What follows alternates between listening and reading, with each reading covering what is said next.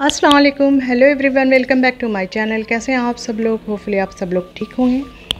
आज मैं लेकर आई हूँ बहुत ही ज़बरदस्त, चटपटा सा, मेरे स्टाइल में बना हुआ आलू का समोसा। जिसे आप ज़रूर ट्राई करें। बहुत ही ज़बरदस्त, बहुत ही टेस्टी, क्रिस्पी है, बिल्कुल बाज़ार जैसा। तो चलिए बनाते हैं आलू का समोसा, वो भी मेरे स्टाइल में। समोसा बनाने के लिए पहले उसका डो तैयार कर लेते हैं। इसके लिए मैंने लिया है दो कप मैदा, उसे अच्छी तरह से छान लिया है। अब इसमें मैंने मिलाया है वन टीस्पून अजवाइन, उसे इस तरह हाथों से क्रश कर लिया है। इससे बहुत अच्छा फ्लेवर आ जाएगा। अब इसमें मैंने डाला है वन टीस्पून नमक और कुकिंग ऑयल। आप चाहे तो कुकिंग ऑयल दे सकते हैं या घी दे सकते हैं। मैंने कुकिंग ऑयल दिया है, चार से पाँच टेबल स्पून अब आटे को अच्छी तरह से मिला लेना है। इस तरह से हाथ से ये टिप्स को आप फॉलो करेंगे तो आपके जो समोसे हैं वो बहुत ही क्रिस्पी होंगे और हाथ से इस तरह से देख लें मोइन परफेक्ट कि अगर मुट्ठी में बन जाता आटा तो इसके मतलब आपका मोइन परफेक्ट है और आपकी जो भी रेसिपी आप तैयार कीजिएगा वो बिल्कुल खस्ते होंगे, क्रिस्पी होंगे। तो मैंने पानी से इसको डो को तैयार कर लिया है और इसका डो थोड़ा सा सख्त होगा। तो थोड़ा सा सख्त मैंने बनाया, आलू लिया है, आलू को अच्छी तरह से बॉइल कर लिया है, एक के जी आलू है और कुछ पाउडर मसाले हैं तो इसमें रोस्टेड ज़ीरा पाउडर है one tablespoon crush coriander और चिली पाउडर भी one tablespoon garam masala one teaspoon आमचूर पाउडर और चाट मसाला हल्दी पाउडर और लाल मिर्च पाउडर वन टीस्पून और क्यूमन यानी ज़ीरा पाउडर, साबुत ज़ीरा है और धनिया की पत्ती और हरी मिर्च। तो बॉयल्ड आलू को इस तरह से क्रश कर लिया है, इसको मैश नहीं करना है, हल्के हाथों से इसे क्रश कर लिया है।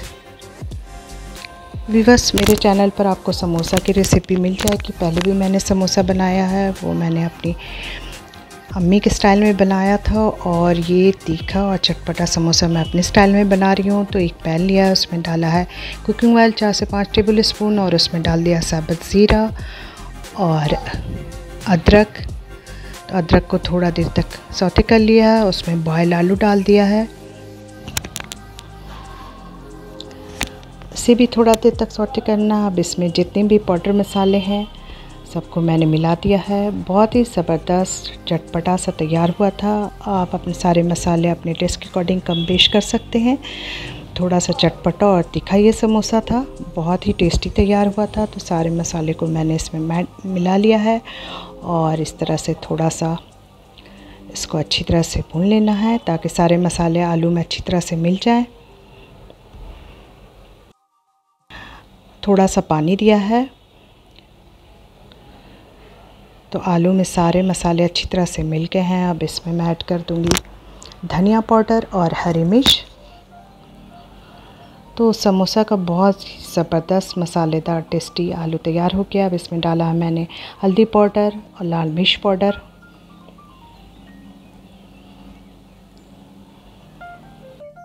धनिया की पत्ती और हरी मिर्च।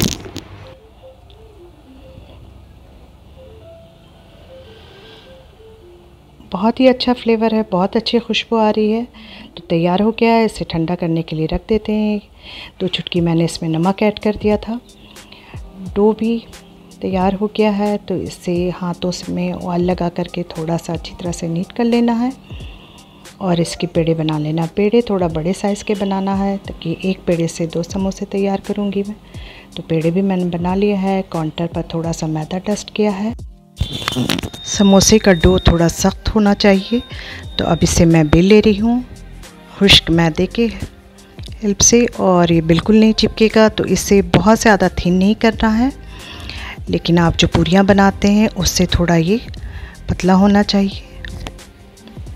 बहुत ही इजी है। आप इस तरह से घर पे बना सकते हैं। आपको समोसा शीट की ज़रूरत भी नहीं होगी। रमज़ान में भी इसे ट्राई करें। अब मैं इसे कट कर ले रही हूँ।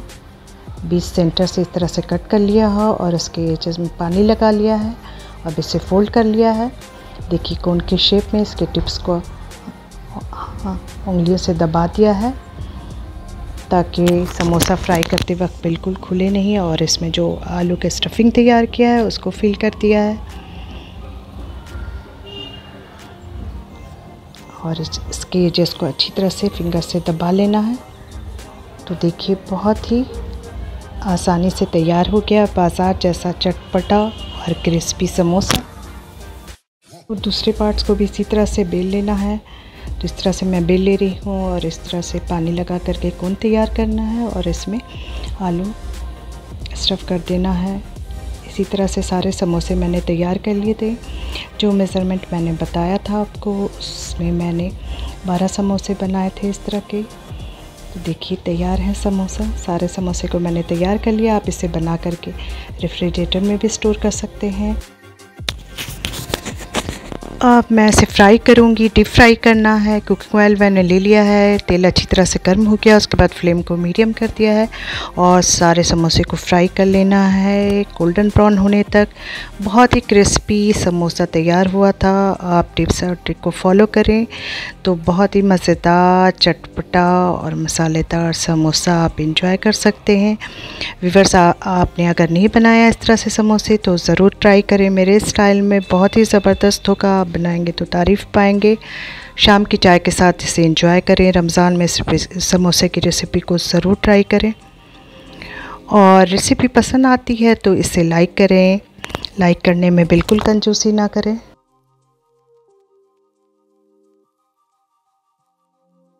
चैनल पर समोसा की रेसिपी आपको मिल जाएगी, जो बनाया था मैंने। रमज़ान में वो मैंने अपनी अम्मी के स्टाइल में बनाया था और ये है चटपटा और जायकेदार समोसा, आलू समोसा मेरे स्टाइल में।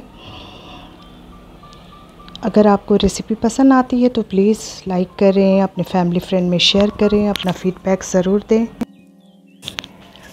व्यूवर्स मेरे चैनल पर पहली बार आए हैं तो सब्सक्राइब करें बेल आइकन को ज़रूर प्रेस करें, ताकि आने वाले वीडियो के नोटिफिकेशन सबसे पहले आपको मिले। आई होप कि ये रेसिपी आपको आलू समोसा क्रिस्पी मसालेदार रेसिपी पसंद आई होगी। फिर मिलते हैं एक नई रेसिपी के साथ। टेक केयर अल्लाह हाफिज़ बाय